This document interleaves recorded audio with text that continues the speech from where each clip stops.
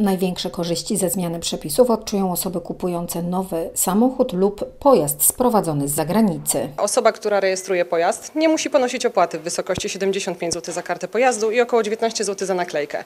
Więc tak naprawdę jest to ułatwienie dla obu stron.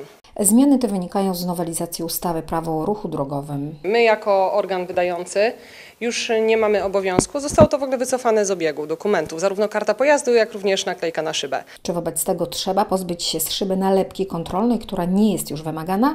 Obowiązku takiego nie ma. Od 4 września naklejki i karty pojazdu nie są jednak wydawane przez Wydział Komunikacji.